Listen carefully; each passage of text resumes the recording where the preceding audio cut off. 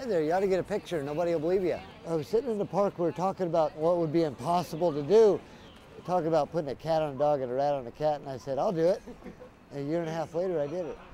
Um, and I'm glad to be, be the one to actually say I actually pulled it off. The first time in history it's ever been done. It's a mouse and a dog and a cat living happily together. See, why can't people get along?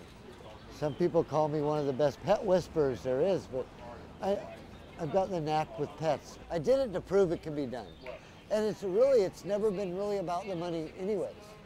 Uh, when people come up, I say, take a picture, whether you donate or not.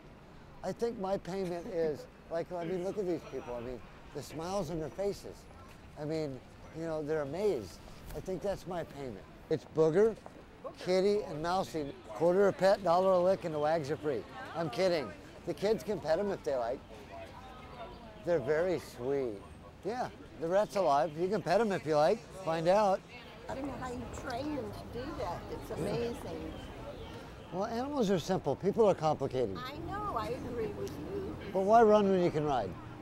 That's true. Everybody keeps coming up saying I look like Van Gogh, especially with the hat. Except for I got my ears. But my art is with living creatures. The lady says he had to have drugged them. Too good to be true. You know, it is, it's actually that good. Sometimes I'll get irritated with the question, are they on drugs? And I'll say, well, I caught the rat with a crack pipe, so I'm raising money for the Betty Ford Clinic. And they're not on drugs. you know, what drug would I give them? We go to the senior citizen home. Uh, in fact, there's a couple old ladies that um, that love the rats so much they almost beat each other with their canes just so they can hold the rat. I think it's funny. She, she'll play with them, but she won't hurt them. And she's the boss.